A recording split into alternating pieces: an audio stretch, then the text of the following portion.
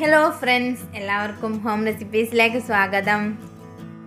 നമ്മൾ ഇന്നത്തെ റെസിപ്പി എന്ന് പറഞ്ഞാൽ നമ്മൾ വീട്ടിൽ ബാക്കി വന്നിട്ടുള്ള ചോറുകൊണ്ട് ആവിയിൽ വേവിച്ചെടുക്കാൻ പറ്റുന്ന നല്ല പഞ്ഞി പോലുള്ള ഒരു അപ്പത്തിന്റെ റെസിപ്പിയാണ് ഇത് നമ്മൾ റെഡിയാക്കി എടുക്കുന്നത് ചോറും കുറച്ച് നമ്മുടെ വീട്ടിൽ എപ്പോഴും ഉള്ള ഇൻഗ്രീഡിയൻസ് മാത്രം വെച്ചുകൊണ്ടാണ് റെഡിയാക്കി എടുക്കുന്നത് അപ്പോൾ അതെങ്ങനെയാണെന്നൊന്ന് വീഡിയോ ഫുള്ളായിട്ട് കാണാം. പിന്നെ വീഡിയോയിലേക്ക് പോകുന്നതിന് മുമ്പായിട്ട് നമ്മുടെ ചാനൽ ഇതുവരെ സബ്സ്ക്രൈബ് ചെയ്യാതെ ഏതെങ്കിലും പുതിയ കൂട്ടുകാർ വീഡിയോ കാണുന്നുണ്ടെങ്കിൽ പ്ലീസ് ഒന്ന് സബ്സ്ക്രൈബ് ചെയ്തും കൂടി സപ്പോർട്ട് ചെയ്യുക അപ്പോൾ നമുക്ക് വീഡിയോയിലേക്ക് പോവാം.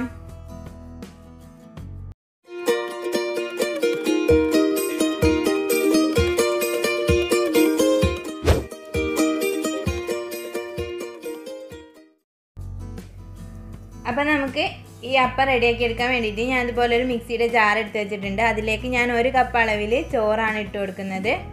അപ്പോൾ ഏത് അരിന്റെ ചോറും എടുക്കാം? ഞാൻ ഇവിടെ മട്ടരി വെച്ചിട്ടാണ് ചെയ്തെടുക്കുന്നത്. ഇനി നമുക്കിതിലേക്ക് വേറെ കുറച്ച് ഇൻഗ്രീഡിയൻസ് കൂടി ചേർത്തെടുത്തിട്ട് ശേഷം ഒന്ന് അരച്ചെടുക്കാം. അപ്പോൾ ഫസ്റ്റ് ഞാൻ ചേർത്ത് കൊടുക്കുന്നത് ഒരു നാല് ടേബിൾ സ്പൂൺ അളവിൽ അരിപ്പൊടിയാണ്.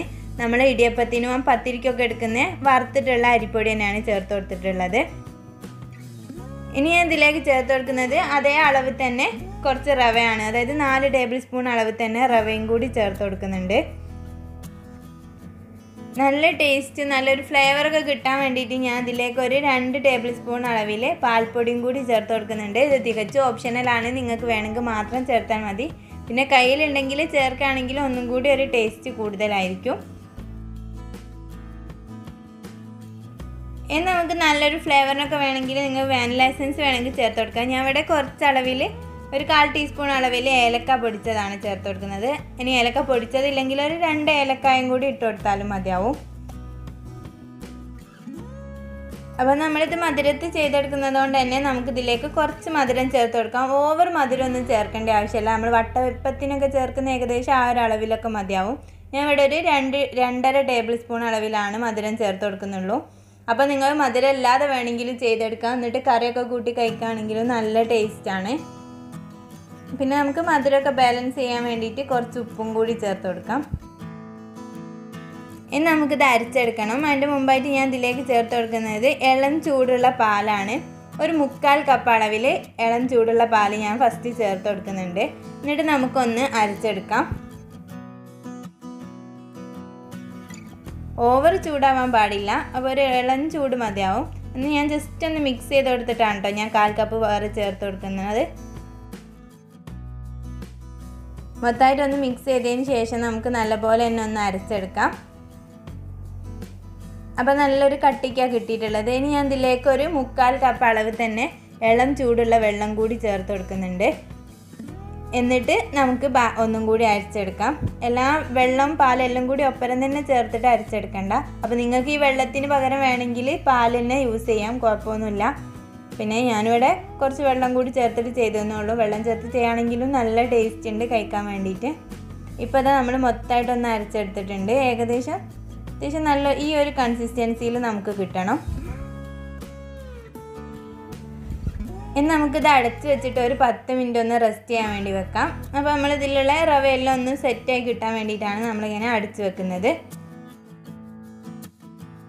പത്ത് മിനിറ്റിന് ശേഷം ഞാൻ ഇതിലേക്ക് ഒരു പിഞ്ച് അളവിൽ സോഡാപ്പൊടിയും അതുപോലെ തന്നെ അതിലേക്ക് കുറച്ചൊരു വിനെഗറും കൂടി ചേർത്ത് ആ ഒരു പതൊന്ന് പോകുന്നതിന് മുമ്പായിട്ട് അതൊന്ന് ഇതിലേക്ക് ചേർത്ത് കൊടുത്തിട്ട് ഒന്ന് മിക്സ് ചെയ്യുന്നുണ്ട്.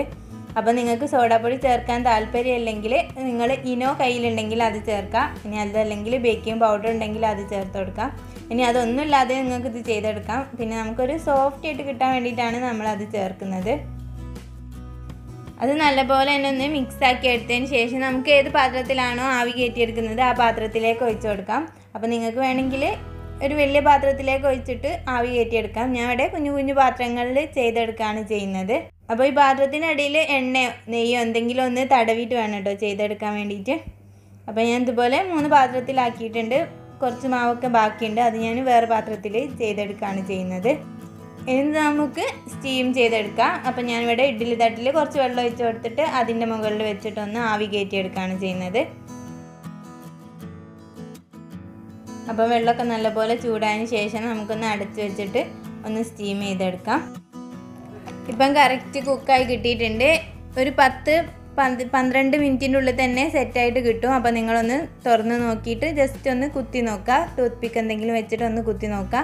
അപ്പോൾ സെറ്റായിട്ടുണ്ടെങ്കിൽ നമുക്ക് അതൊന്ന് വേറെ പാത്രത്തിലേക്ക് മാറ്റി വെക്കാവുന്നതാണ്. നല്ല അടിപൊളിയായിട്ടുള്ള അപ്പം ഇവിടെ റെഡി ആയിട്ടുണ്ട്. ഈവനിങ് സ്നാക്ക് ആയിട്ടോ അതുപോലെ തന്നെ ബ്രേക്ക്ഫാസ്റ്റ് ആയിട്ടും ഒക്കെ കഴിക്കാൻ പറ്റുന്ന നല്ലൊരു അപ്പം തന്നെയാണ്. കുട്ടികൾക്കും മുതിർന്നവർക്കും ഒക്കെ തീർച്ചയായിട്ടും ഇഷ്ടപ്പെടുന്ന നല്ലൊരു റെസിപ്പി തന്നെയാണ്. നല്ല ടേസ്റ്റാണ് കഴിക്കാൻ വേണ്ടിയിട്ട് എല്ലാവരും തീർച്ചയായും ട്രൈ ചെയ്ത് നോക്കുക. വീട്ടിലുള്ള ഇൻഗ്രീഡിയൻസ് മാത്രമേ നമ്മളിതിൽ യൂസ് ചെയ്തിട്ടുള്ളൂ.